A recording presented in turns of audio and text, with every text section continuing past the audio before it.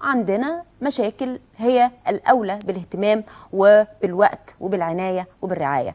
منها مشاكلنا الطبية الصحية مستشفياتنا اللي متواجدة والخدمة اللي بتقدمها للمواطنين. النهاردة إحنا عندنا مغامرة مغامرة في مستشفى الصف. إحنا عندنا مستشفيين للصف مستشفى قديم وواحد جديد. الجديد عطلان وبقاله سنتين لا يتم افتتاحه لأسباب مختلفة. أما القديم فحالته زي ما مكتوب بالظبط على الشاشة. مأساة. خلونا نتعرف على تفاصيل هذه المأساة من خلال تقرير أو مغامرة زميلنا محمد سعيد.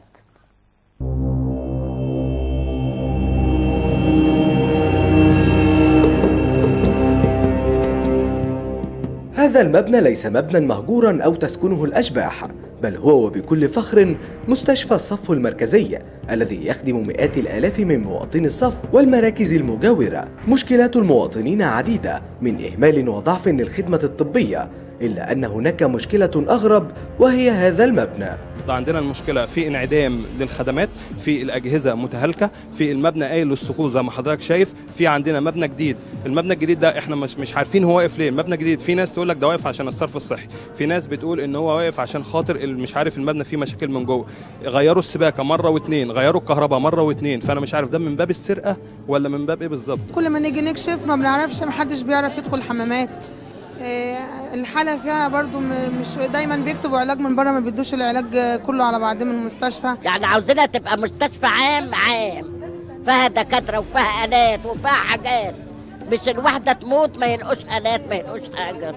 حضرتك لما تدخل دلوقتي غرفة من غرف آه، المستشفى هتلاقي القطط موجودة تحت السراير. دي مش قصة إمكانيات دي قصة إهمال عاملين في المستشفى. المستشفى يعتبر مبنى بس وما فيش أي حاجة جوه. يعني السراير ما فيش سراير. ممكن تلاقي على السرير آه اتنين مرضى.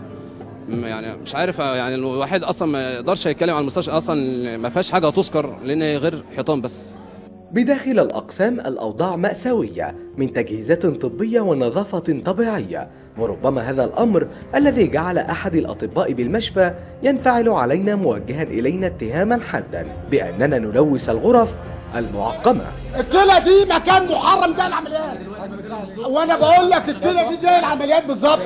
ممنوع تخش الكلى في المقابل لم يعترض مدير المستشفى على التسجيل معنا على الرغم من رفضه الشديد في البداية لتصوير الأوضاع معللا ذلك بتعليمات الوزارة. المستشفى القديمة اللي انت شفتها العيادات الخارجية اللي شغالة والإقسام بتاعت ال- الكلى دي إقسام طلع لها قرار إزالة، الإزالة ده بقى له يجي 10 سنين وهم بعد ما طلع قرار إزالة ابتدوا يبنوا المستشفى الجديدة. المبنى طبعا عشان طلع له قرار إزالة فممنوع تطويره وبذلك إحنا بنشتغل في حوالي آه، تلت المستشفى القديمة أو ربع المستشفى القديمة. حضرتك شايف المبنى دوت من من 1000 من 2004 بقاله 8 سنين ونص مختلفين فيه عن حاجات إدارية لون السيراميك مختلفين لا ده إحنا النهارده هنعمل مكيفات النهارده لا ده الوزارة قالت طوروا إحنا عايزين نستلم المبنى هيخدم أكتر من 600 ألف نسمة اللي هي القوة اللي بتتردد علينا. وبعد فتح الطريق السريع بيجي لي حوادث بطريقة مهولة وعندي عجز في الدكاترة. وأنا بتصل بالوزارة بيبعتوا لي دكاترة العدد برضو قليل وإحنا هنا برضو عشان الناحية الأمنية ما حدش بيجي كتير. فأنا مشكلتي مشكلات إدارية عايز أستلم المبنى عايز أستلم مبنى الطوارئ مشكلة أمنية برضو بعد موضوع الأحداث اللي حصلت ومركز الشرطة. إحنا شغالين من غير مركز شرطة بقالنا ثلاث شهور. فبيجي العيان أنا عايز أعمل تقرير وفاة عايز أعمل تقرير طبي كل بودة بالنمرس. فدي مخلي الخدمة عندي قليلة. دائما ما تكون الصورة معبرة ولكن لو أمكننا اختراع كاميرات تنقل الصوت والصورة وأيضا الرائحة. ربما عزيزي المشاهد لن تستطيع استكمال مشاهدتك للتلفاز. محمد سعيد سي بي سي شكرا جزيلا محمد سعيد وبشكر الحقيقة كل طاقم سي بي سي اللي كان مع آه، محمد خلال هذه المغامرة. الهدف كان آه، الوقوف على حال هذه الخدمات التي تقدم إلى مواطني مدينة الصف وهكذا وجدنا الحال. ينضم إلينا دكتور هشام عطا رئيس قطاع الطب العلاجي بوزارة الصحة. مساء الخير يا دكتور. نور يا فندم. شفت يا فندم مع حضرتك مع, مع شفت معانا آه، تفاصيل هذه الحالة اللي آه، بيتعامل من خلالها مواطني الصف؟ هو في الحقيقة طبعا يعني آه، الموضوع يستحق لفت النظر ليه. لكن أنا عايز أقول حاجة تانية إن. إحنا إن شاء الله يعني الامل موجود في ان إحنا خلاص بنوصل رصدنا مشكلة الصف. في المبنى الطوارئ والمبنى الجديد كان في مشاكل سابقة في الكهرباء في الصرف الصحي.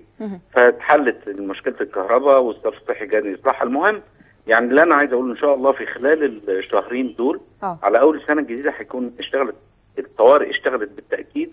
وال- والمبنى الكبير إن شاء الله هيكون اشتغل عشان في خلال خلال شهرين هيكون المبنى الجديد. شغال يعني. هنعدي كل المشاكل المتعلقة بالصرف الصحي. أو بالكهرباء أمال يعني واحد من الأطباء بيقول إن المبنى واقف بقاله 8 سنين ونص علشان آه، ألوان. السيراميك وعلشان بعض من المشاكل البسيطة يعني لا هو في المبنى الكبير فيه بعض المشاكل البسيطة بص حضرتك عشان برضو الساده المستمعين يبقوا الساده المشاهدين يبقوا فاهمين ال- الموقف بالظبط. إحنا في عندنا متعثرات في في آه، آه، مستشفيات زي كده.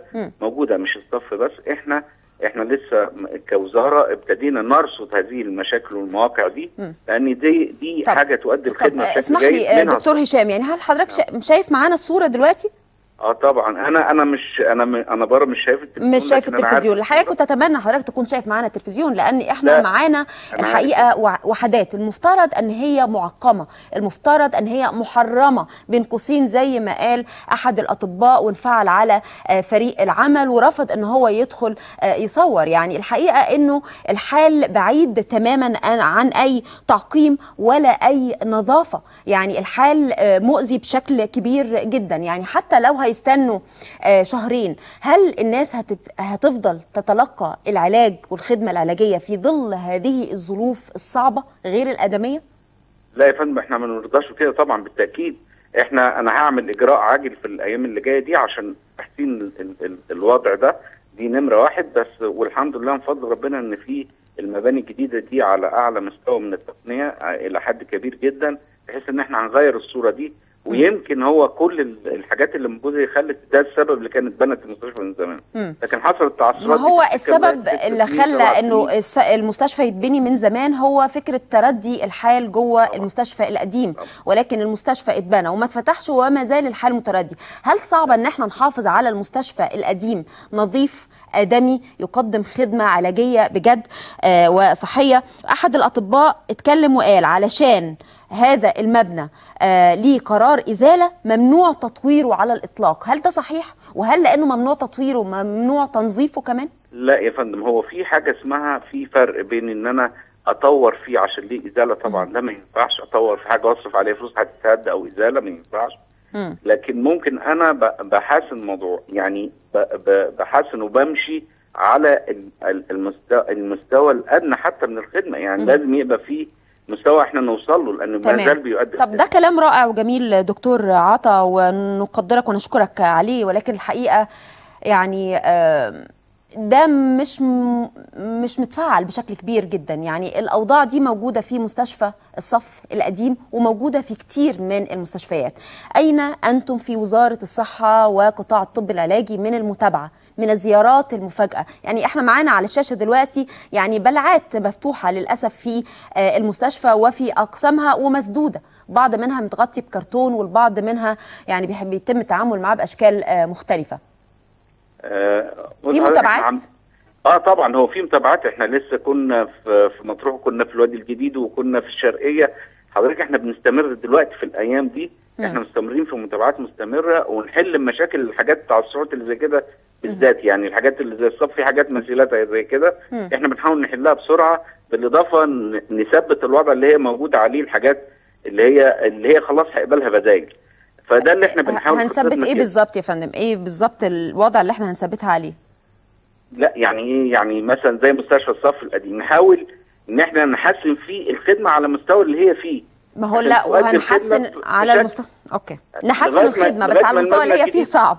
لغاية ما المبنى الجديد ده نستلمه نشغله مم. يعني مبنى الطوارئ ده إن شاء الله في خلال شهر بكتير هيكون اشتغل. فهننقل فيه الخدمة إن شاء الله. إلى أن يفتح آه، مبنى الطوارئ. هل من الممكن تحسين الخدمة تحسين طبعاً، طبعاً، الأجواء الأحوال لتحويلها إلى أجواء آه، آدمية ظروف آدمية لا، لاستقبال ده بالتأكيد المرضى؟ ده حق ده حق الناس علينا يا فندم. ده طيب. حق الناس وحق المرضى علينا. آه. فده هنبص طيب. له أنا هبص له كويس جدا. أوكي. وإن شاء الله الناس هتلاقي فيه نتائج مجديه في الفترة بإذن الله ممكن إن إحنا نقول إنه هيكون في نتائج ملموسة لأهالي الصف إمتى يا فندم؟ إمتى يا إن دكتور شاء الله. بس في خلال الشهرين دول إن شاء الله هيلاقوا فيه تغيير كبير قوي في الوضع في خلال الشهرين. إن شاء الله. يعني هنبتدي من بكرة كده بإذن الله؟ إن شاء الله. طيب يا مسهل يا رب. بشكرك شكرا جزيلا دكتور هشام عطا رئيس قطاع الطب العلاجي بوزارة الصحة.